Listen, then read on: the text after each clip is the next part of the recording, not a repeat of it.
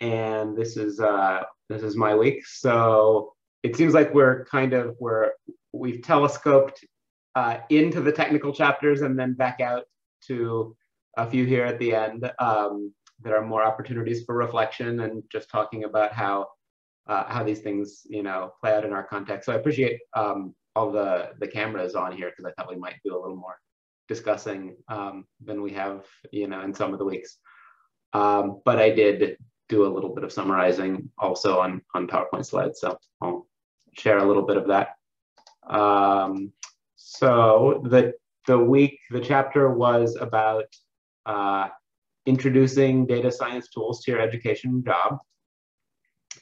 And here are a couple of the points they made. The kind of organizing ideas, I'd say, of the chapter are that um, some advantages of doing data analysis with R, where people might have been using Excel or something like in the past, that in the past are um, boosts in speed that might not initially be apparent, um, but because you can uh, repeat your analyses if you you know keep track of the uh, the code that you've used and that sort of thing. Uh, you can iterate on uh, people's questions. So people ask you questions and you can um, use a snippet of code that you've used in the past to answer pretty quickly. And by being able to do that, you, uh, you sort of embed the analyses in um, a nice conversation about analysis and you kind of liberate people to be um, you know not lose their train of thought necessarily the question is still fresh in their mind when you come back with an answer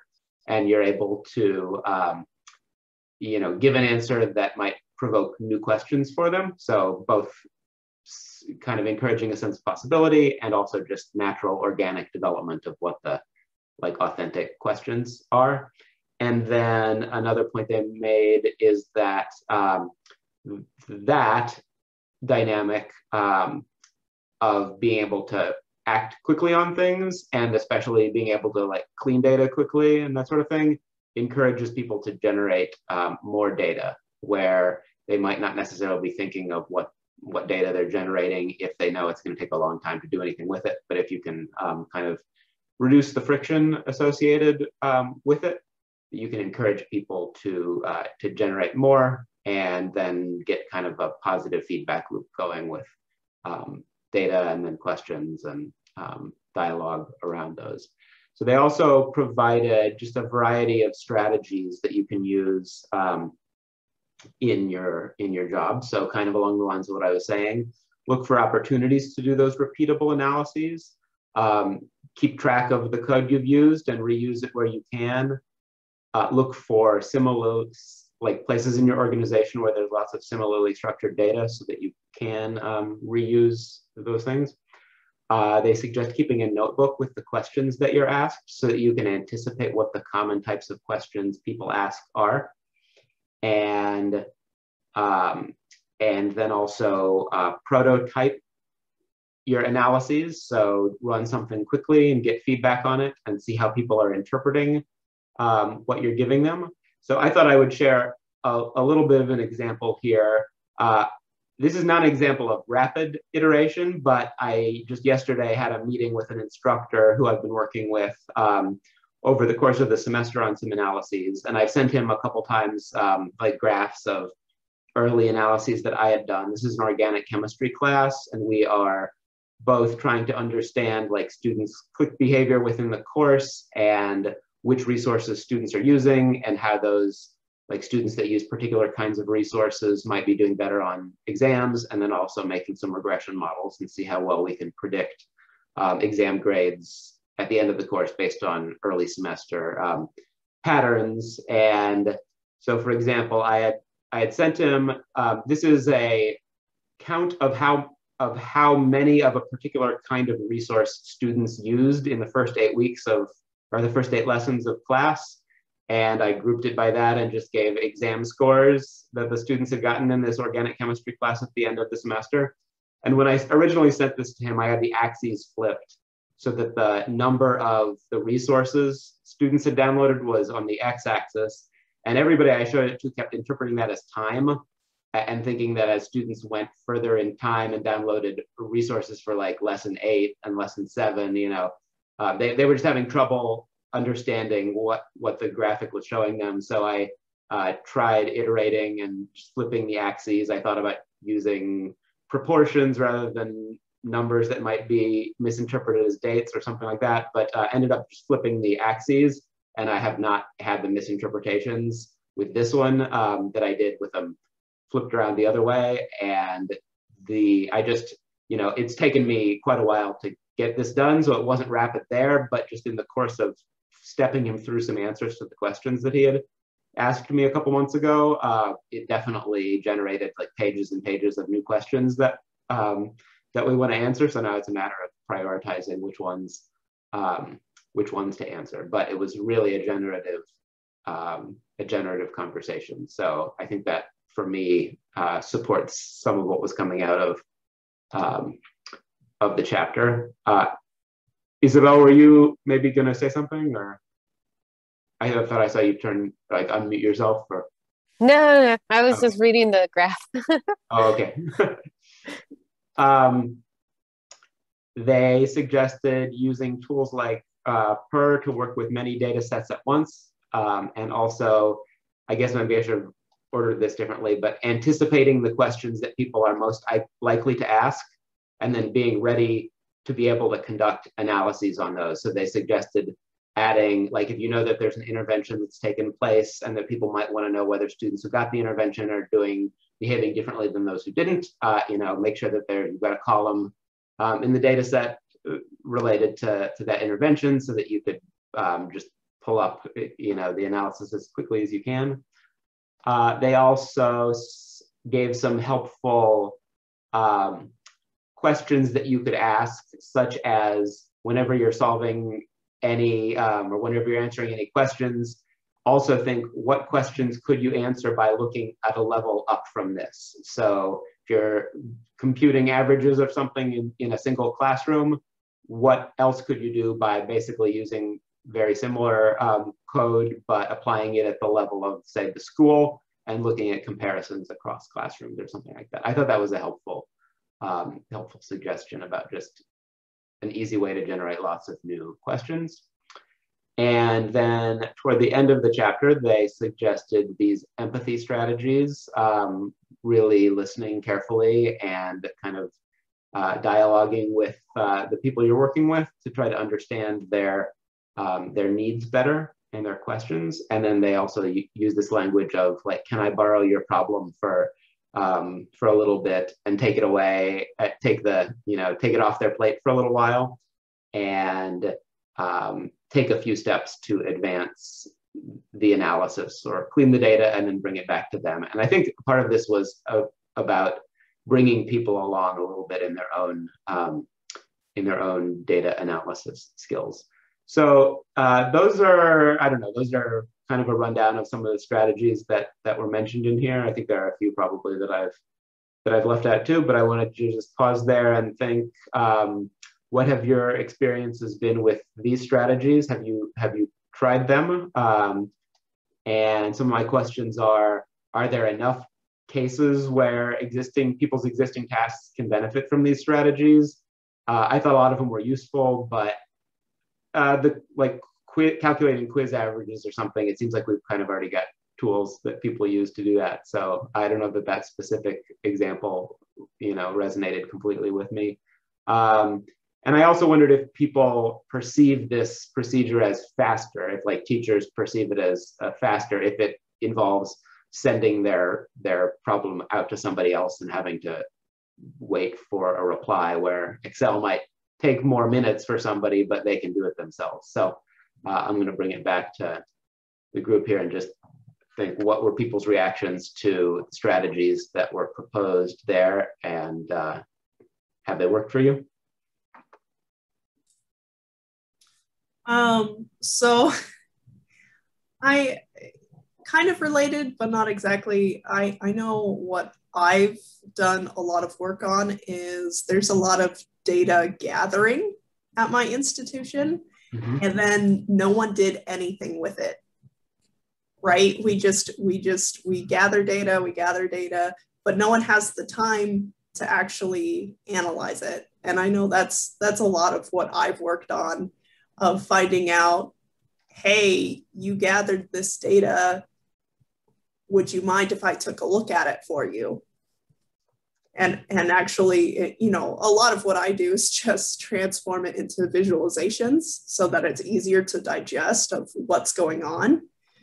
Um, so, so that's what I've been doing. I've never had I've never encountered a situation where someone was actively working on an analysis themselves and I borrowed it. I, I wouldn't use that language. It's just more of a this department has been doing this survey. Uh, you know, registrar has been gathering this data from the forms. Uh, we have these students participating in tutoring and such and such and we have all this data but then it just sits there because no one no one has the time to comb through it and really get anything out of it so that's that's more my experience of just like saying hey have you been sitting on data that you wish you had time to analyze but you just don't you know so so that's more my experience what kind of effect does it have when there is all this collection and no analysis? Does that breed a particular kind of culture or response?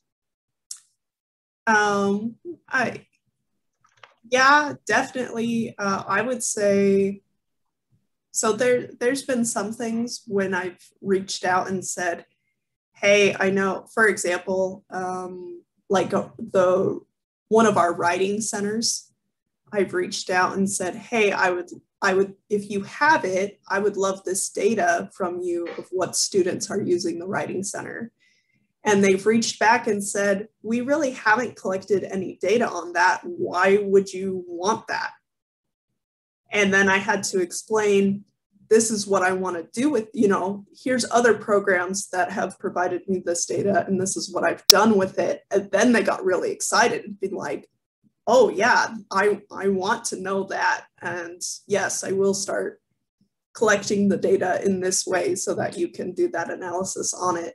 Um, so I've had positive responses like that. Um, I've, I've definitely had responses of, I don't see how that would do any good. Uh, for example, I, I'm kind of throwing my math tutoring under, under the bus. I, I did the same thing with the math tutoring and they essentially said, why would you need to analyze it? We know it works. Like, why would you take, why would you take the time to analyze it when we know it already works? Um, so, so I've, I've also gotten that response. So there's definitely, you know, there's definitely mixed responses of, um, well, we haven't been analyzing it because there's no, there's no use, right? It's not like we're going to change anything by analyzing it. So why bother? Um, from I didn't know we had that capability. Yeah, I'm interested. Um, so definitely a huge range. Yeah. Uh, it's an interesting range. I mean, I, what I was anticipating was maybe that there was like a, a fatalism or something, or like that just, you know, collecting things because that's what you always do, but never using it or something. It seems like a bad dynamic to like expectation to to have for people, right? To to collect it all and then it never gets used. Well, I like if you I, can be the I one loved, who. I yeah. loved what was pointed out in the chapter. Uh, I'm going to misquote it. Sorry, but essentially it was like when we're not doing anything with the data, there's less data collected. And the more we can do with the Mhm. data, the more people will feel like, uh, you feel like, oh, it's actually useful let's collect more and then you can get better insights. I, I probably said that wrong, but there was something along the lines in that chapter. Yeah, definitely. Um, and when you go to like the writing center, are you able to show them the visualizations that you made for a different group or something? And they Yeah. say, "Oh, I want." I, I yeah, want so so in that case I can. There there are definitely lots of visualizations I've done that I I can't share. Yeah. Um, especially uh, I mean in particular uh, when I'm doing race and ethnicity uh, data analysis, there's only very particular people at my institution I can share that with. So that's not something I can share. But these, the analysis that I do with these initiatives, like the like the like the Writing Center, um, I I can more freely show to other departments of like this is what I did for them, and, and here's what their results were. Are you interested in something like this? Nice. How about other folks? Uh, have you tried any of these strategies or had experience with how they work?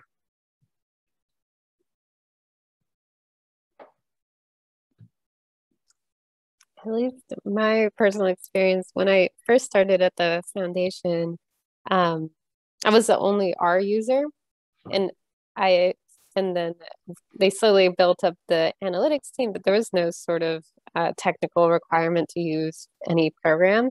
Um, and so my colleagues would use like spss or excel or things like that. And i think like it just the sheer amount of like repetition needed to like clean data from the california department of ed like and then like realizing you made a tiny mistake and having to go back and like fix it all like versus you know just changing like a character or something in script like over over time i think um like again because it wasn't like ex- an explicit ask or anything like just through the collaboration and like showcasing of, of what um reproducible code could do like slowly my my colleagues started to adopt r and now? We all know R, which is like fantastic just in terms of like the, the amount of sharing and collaboration that we could do now that before like um it would just require a few extra steps too, right? Because documentation in Excel would look different than um, than if you're writing in R. So, so that, that's just like uh, an example of how we tried one of those strategies. So yeah. I I'm the only R user uh, at my institution, and I'm a, I'm a team of one. I'm kind of in this weird situation where I work closely with institutional effectiveness, but I'm not part of institutional effectiveness.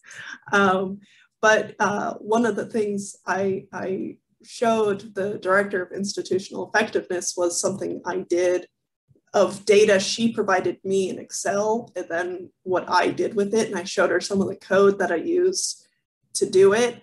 And she was just like, why would you have taken the time to write all this code when you could have just done that in, in Excel? Because she just uses SPSS and Excel. And I said, well, now next time you send me the exact same data, which I know she does, right? She does it in the same format every semester. I'm like, well, next semester, I don't have to do anything. I change the file name and it just generates it. And she was like, oh, wow, that's cool, you know? And so, and so I, I think there is this disconnect of all they see initially is how much time it took you to do it up front. And it's having this conversation of, yes, I know it took more time initially, but it's going to save us so much time going forward. Yeah. Edgar, oh. is that? Oh, sorry. Go ahead. Oh, I, I was just going to completely agree. Like, just to pick on California Department of Education, like it's, it's every year, even if it changes slightly, like the amount of time that first year just makes like, you know, the next four years uh, so much more of a lighter lift that um yeah it, it, definitely like balances out by the end. Do you have those things stored in places where other people could use them if uh i don't know. I was kind of wondering if anybody would resist these because you might get dependent on on a single person who knew how to do it or whatever. Do you do you have systems for sharing or building other people's capacity? I guess you've said you do but. Yeah. Well, at least internally we have um, like a private GitHub repository. Mm-hmm. And um, I guess I suppose if all of us left at the same time, then maybe nobody would know where to find it. But hopefully, like one person will be able to pass the baton on to whoever like needs to do these analyses in the future. Mm-hmm. I was thinking if Morgan left, the uh, R capacity of I would dry up quick, but it's true. We have a shared drive. Um, again, I I don't know if I should say this. Our institution struggles in general with information sharing between departments. Like there's just this huge issue with information silos. One department has no clue what another department is doing. And that's one of the things I'm trying to work on, even with these um, initiatives, right?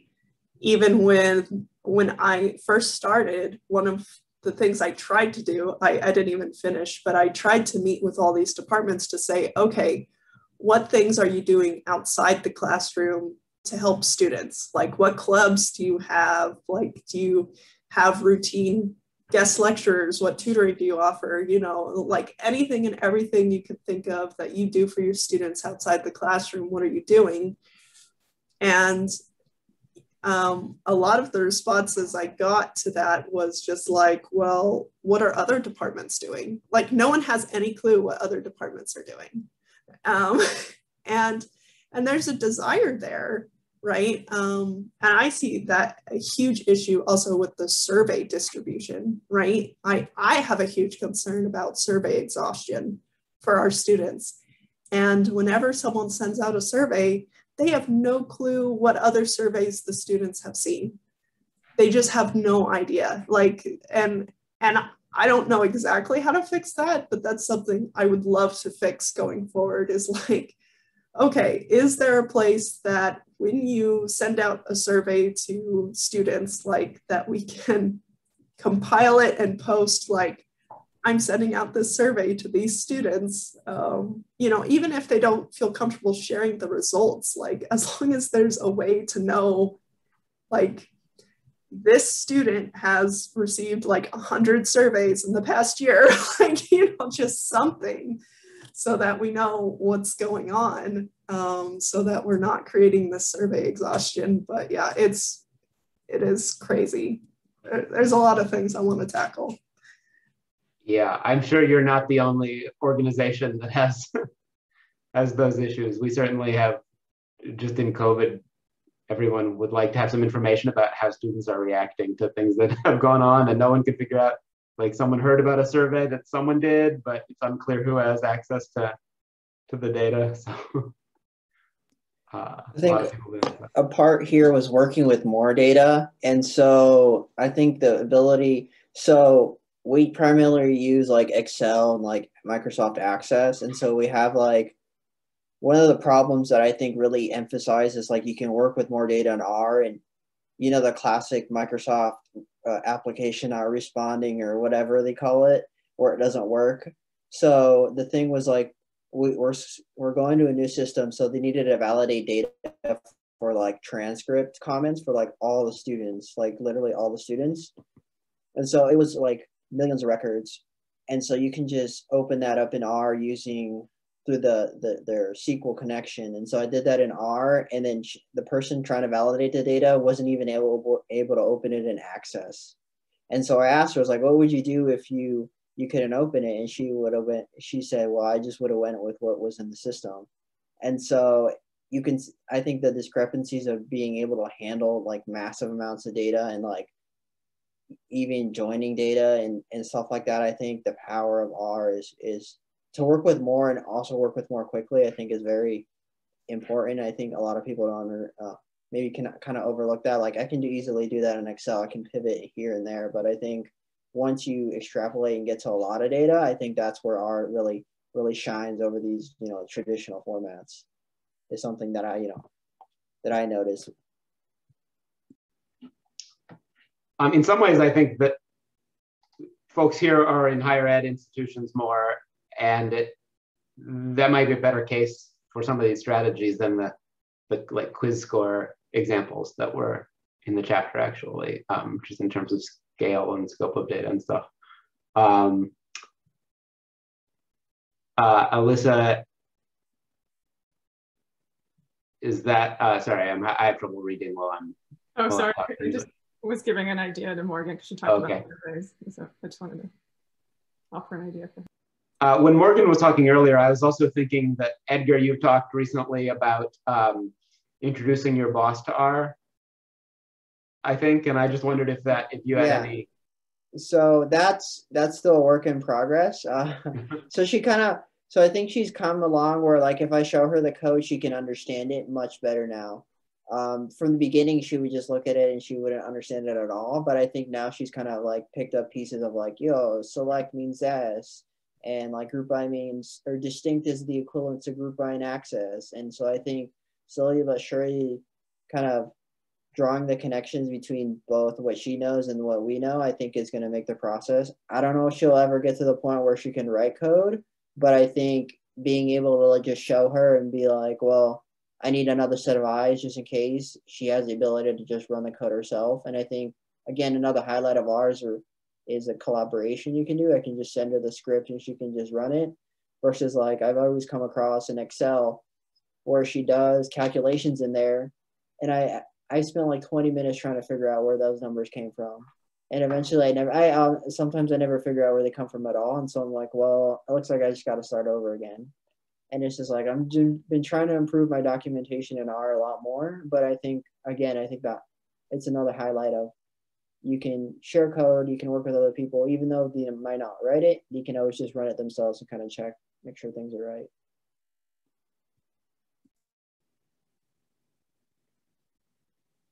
Any other strategies that have worked for uh, for other folks?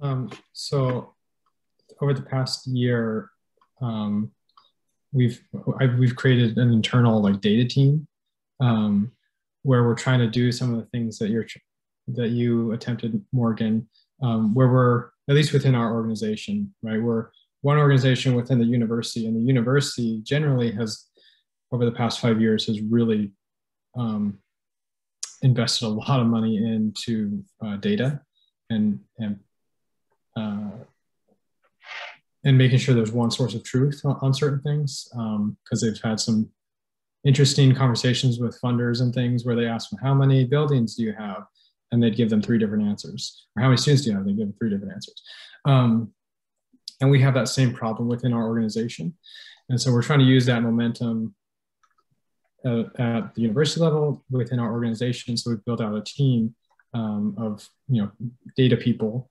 um, and we've built out uh, kind of this calendar of data activities. Um, and so now we know we have over 200 data activities um, across two years across all the 15 programs that we offer. Um, and so we're we're now beginning to pinpoint where we can collaborate and streamline certain things um, or collaborate on and streamline certain things um, in terms of data collection so that we can then talk about the impact of our programs in stronger ways rather than kind of these patchwork um, ways that we do program by program. Um, but it's been, it's been, we haven't even, I haven't even brought on tools yet. We haven't even talked about tools. It's just been like data literacy and, and, and building out a culture and um, because everyone varies on their you know data literacy. There's people on on the data team who are um, uh, PhDs, you know, and have an understanding of research and um, but they don't understand like data management as well as you know doing a good research study. Um, so we're all kind of figuring that out together. um, but then there's others who have just been part of a program for 15 years and um, uh, just kind of do things the way they do things. And so we're just trying to, you know, this past year we've tried to get on everyone on the same page, um, and then begin to identify, you know, cross or overlapping um, or similar enough data collection uh, activities so that we can move forward. I mean, this so hopefully in year two is when we're going to start building out capacity um, when it comes to tools. Um, and I'm I'm currently the, the only R user um, in my organization. And so, um, yeah, everyone uses lots of different things. So, um, so I'm trying to I'm trying to respect their current um, um, uh, skill level or, or, preferences when it comes to data uh, analysis. um, but um, and I'm trying to find something that's sustainable, like for them, um, and and preferably self-service when it comes to certain things. So we're trying to trying to figure that out still. So I'm I'm wondering what like what strategies are involved in carrying out a process like this. It sounds like it's a kind of consensus building sort of process. Is it a matter of just like getting the right people in the meetings or taking a particular attitude where you accept accept people's preferences and hope that as they talk to each other they naturally come to more agreements or something like that? Or are there i don't know any takeaways from it? Yeah i mean as we move forward um, you know there's certain there's certain softwares and certain tools that the university um, prefers. You know for example you know we have a license for qualtrics versus um, like um, smartsheet or, or surveymonkey or whatever. Like um, and so we can use the university's resources when it comes to stuff like that and so we're going to try to um, uh, um, you know, sunset programs who use certain tools. We're going to try to sunset those tools and bring them on to you know tools like Qualtrics or or Google, um, even Google Forms for some simple things. Um, but uh, so I think there is a plan to do that, and I think they know that that's coming. um, but it is it, it will be I think more you know talked about and um, supported in the coming year. Um, yeah I, I and i you know we just have so many trainings that are offered at the university level that we don't have to provide as much when it comes to certain you know the tools that are supported um, we just had to guide the pe- guide people into those workshops or lessons or whatever um, and then just always be on call if they need something you know more simple um, I don't Is know it, if I answered your question, but yeah, I'm just kind of feeling around for um, for strategies, I guess. But is it a is it a does it feel like a a straight line process or lots of steps forward and steps back? Like in some of the things that I've been I've been trying to convene certain groups, not of exactly the same kind, but um, I think we've got some like big picture changes coming down the pike that are going to uh, change a particular technical tool that people have been using and it's going to upset a lot of the progress that we've made. Um, and i don't know if that's how typical that is or it, it feels like it's hard to uh, hard to get i don't know hard to get people to commit to something if you can't trust that the tool if but somebody in the organization isn't going to make a change or something like that. I don't know. Yeah. I think what i what i, I have a, a couple other people who are kind of like the core team um, of this group. And we've we talked about like in this first year we're going to identify those well all the tools that people use figure out the ones that are actually supported by the university begin to identify like where we want to go. And then in year like three we would choose a few different programs just a couple of them and begin building out um, something that we could then scale in year 4 mm-hmm. um, and so we don't have to be you know uh, dealing with 15 different types of bugs but we only have you know three only three types of different you know bugs. Um, and uh, or you know different use cases and so um, that's that's kind of like how that how that's going to look i'm not quite sure but we're we're going to take that kind of at, at a scaled approach um, uh, so that we're not hand, having having to handle 15 things um, in, in this like initial draft of building out this plan.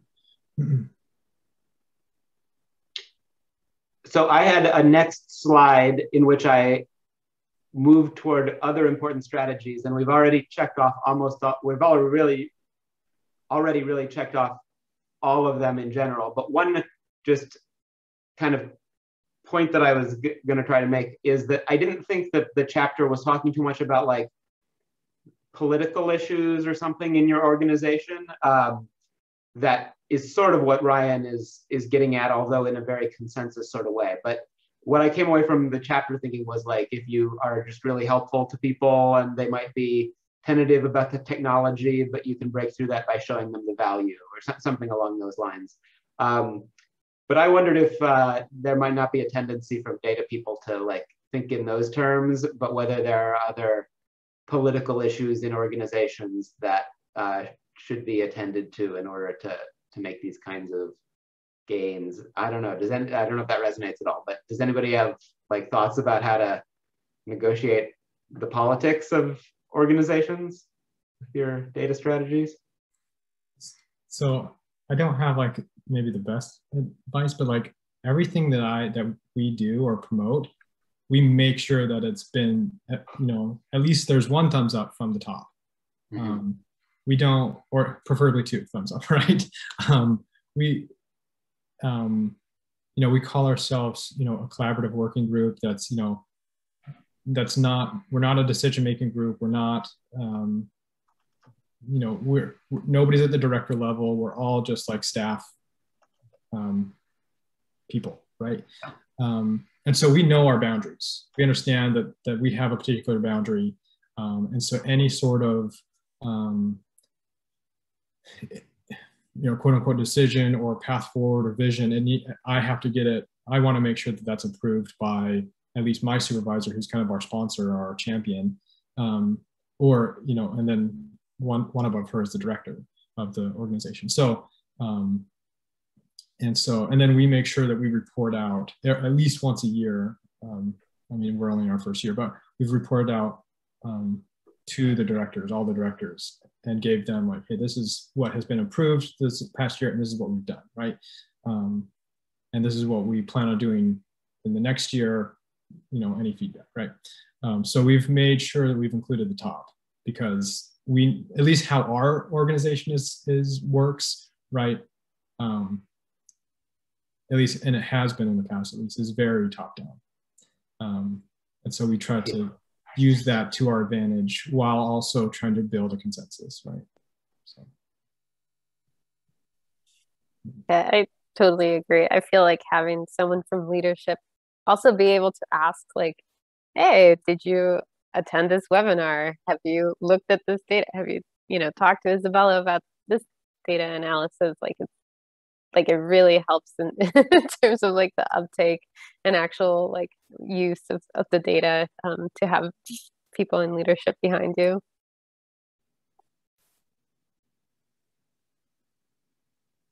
So one that one that i was thinking which is not exactly the same as leadership but my group has been trying to connect our proposals to stated like missions or visions that we know that our leadership is bought into um, we'll run through a, a, proposal or something and, and then realize we don't have it really connected to what we know the organizational priority priorities are. So um, it seems to be working for us so far, just hammering back and forth, back to the the Carolina Next plan that we know the chancellor is all in on, and um, uh, yeah, seems like a decent strategy. Anything else? Well, I, I don't have a success story yet, but I know my strategy has been just trying to build relationships and trust, right? And feel out who, you know, who really believes in using data to make decisions and who doesn't. Um, and just, you know, try, I don't know, just building those relationships and understanding okay, who, you know, who are my allies here and who who do I still need to convince, right? Um, and yeah, if if you could get if you could get someone high up, um, I know for me because I'm so new, I I try to navigate a lot of okay. Once I feel out who my allies are, you know, how much do they understand the political game of the institution and getting their insight of you know you know, so and so will like it if you present it this way, or you really need so and so to buy into this to move forward. You know, so so for me as a noob uh, to my organization, I'm I'm building those relationships, and then those who I really feel like are on my side and support me, then I can get their insight of what else do I need to do to play the political game of getting things moved forward. That's excellent. Yeah. Ally building and yeah, I guess if, if you don't know how to play it, which I often don't, make sure you have allies who do. So that um, one thing you said there was people who you know are committed to using data and those who are, are more opposed to it. And that maybe brings me to kind of last thing I wanted to talk about, which is like threats or risks to data science adoption in universities um, and what the sources of those resistance might might be. Um, uh, it's easy to be sunny about these things, but you know it's hard to get it's hard to get stuff done. And there are I as I read through this, I kept thinking of places where I thought people might like it's not all just helpful answers to questions. You know, sometimes these things um, threaten people's autonomy, for example, or um, you know, some of these things are zero sum. If influence, if there's more influence in one place or more of a reference to data, then the, you know, there's less influence in some other place. What do you guys think, uh, or what have you seen of um, of risks and threats to this sort of thing?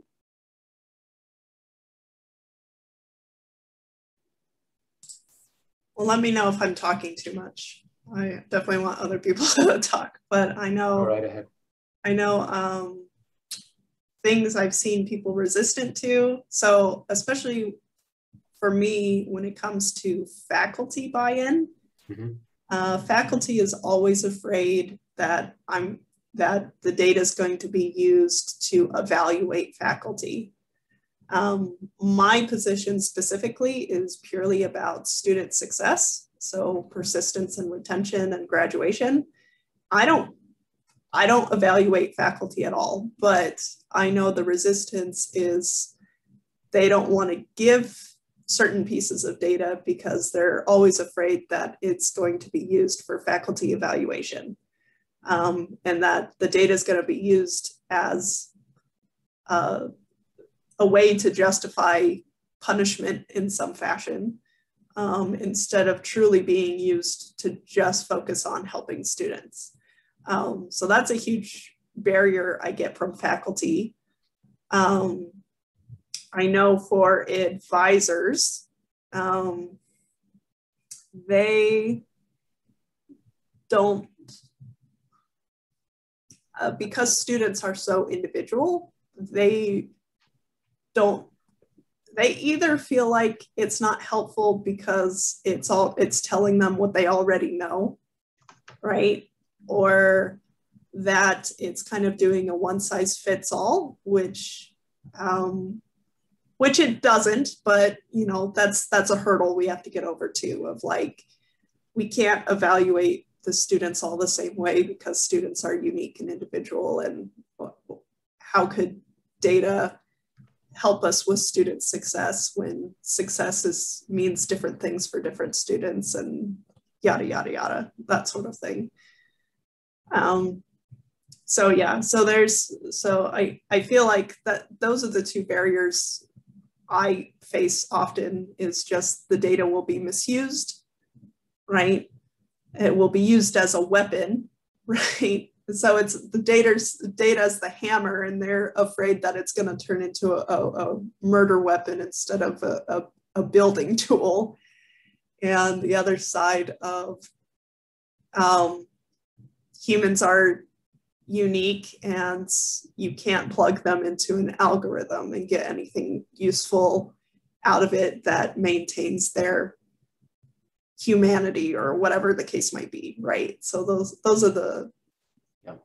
The blockades i face yeah your point about faculty resistance and evaluation was the first thing that i wrote down even reading the chapter and thinking about how they said it would be so easy to run the same quiz averaging scores for every uh, every class in the school or something like that um, just made me picture the reactions from the teachers who might worry that they'd then be seen as an easy grader or an ineffective teacher or something if their scores were low.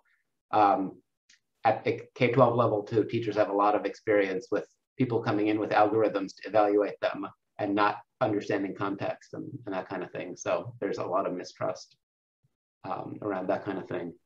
Yeah, uh, I think just yeah. to add to that point, so we have like we had the same discussion on like core success rates, like like what about a faculty member who's curious about another faculty member's success rates and stuff like that. So we had that discussion, but I think you can kind of get around that by saying you know limiting it limiting it to certain people, only accessible to certain information, giving it to deans and stuff like that.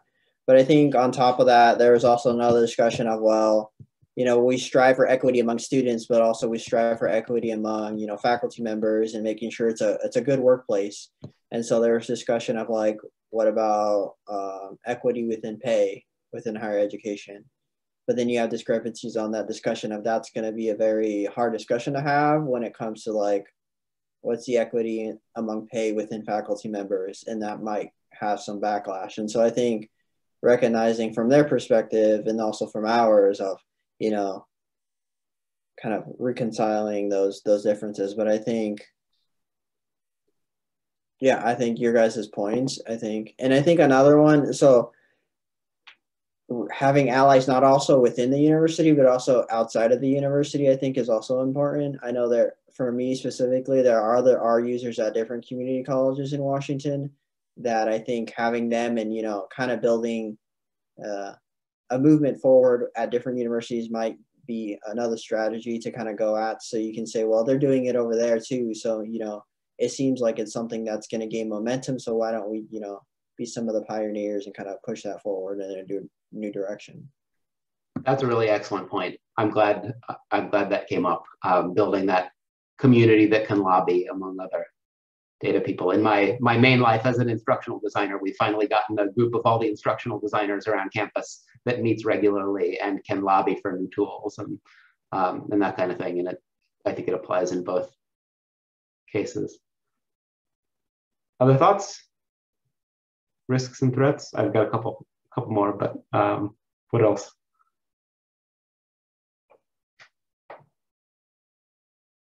Any other cases where you think administrators might see threats coming from use of data? I think the salary issue is is somewhat related to administration, but I'm wondering what else from that corner.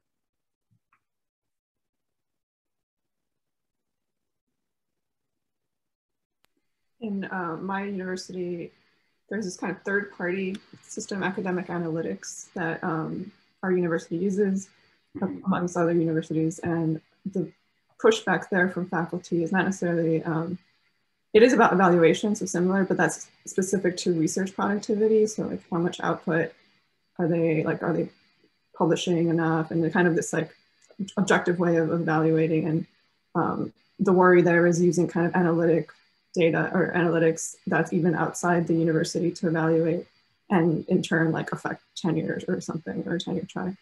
So that's definitely something that's been kind of um, rampant in our in our school and then and also like to Edgar's point about like who gets to see what I know that there's a very specific um, I guess policy in our university to only show it with deans and not specific faculty members and it's kind of like this I don't even know what my opinion of it is because for me it's like transparency is the best but I don't know exactly what they're using the data for in terms of decision making because that's like way beyond me my my role but um, there's definitely that threat of like, what are you using it for and how, how to, and it's not an internal metric, it's some kind of this objective kind of way of evaluating. So that's definitely something that's come up. Recently. Yeah. That academic analytics question is very naughty, isn't yeah. it? Um, I think to, to Alyssa's point on, we've had, you know, as a commission, there's like third party organizations that say you know to be to receive our grants or to receive this you have to give us our data or you know oh there's this new company of like provide us your data we'll put it in tableau make it really pretty and then give it back to you and sell it to you and there are concerns of like is that really the right way to spend uh, public money is that it's our own data.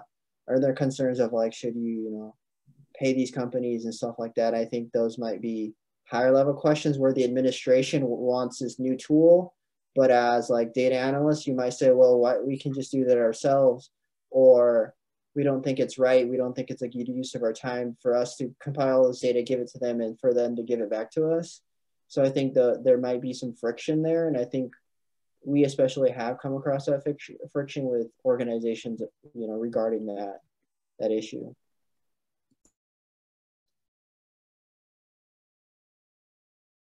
On the administrative level, I was also just thinking uh, there are lots of opportunity or lots of cases here where I think data has the potential to surface patterns that people don't want to be seen or don't want to make public. Um, in the Chapel Hill schools, you know, after No Child Left Behind, it revealed, uh, you, you, know, uh, race and class and such based uh, differences that really caused a reckoning. And I, that you know, the data did become seen, but I could imagine lots of cases where people wouldn't want that um, kind of thing to be seen or would want to tightly control who who sees that and who doesn't uh, in a, a little bit less charged of a situation. But with, within my group, we, we have a, a videography team and an instructional design team, and we could get data on which, like which of the videos we make are getting watched or are they getting watched, which is really useful for knowing, you know, where the resources should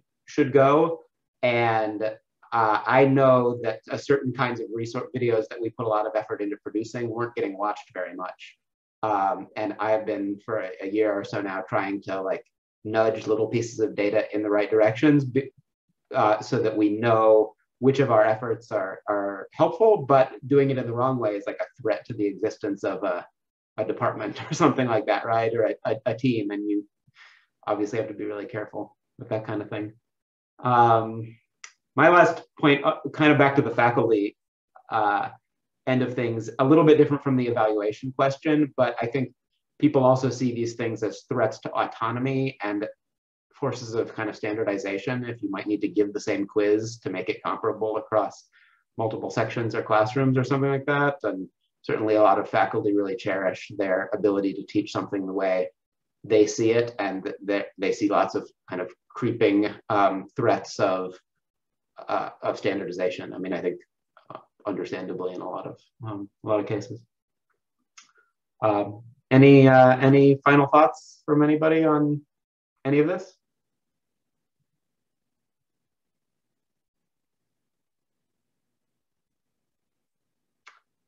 All right. Well, thank you all for coming.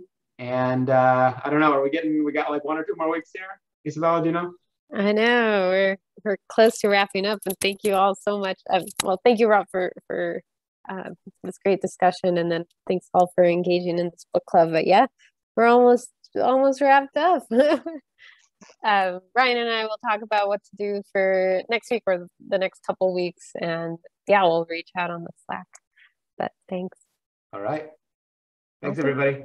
Have a good night. Thanks, for, thanks, Rob.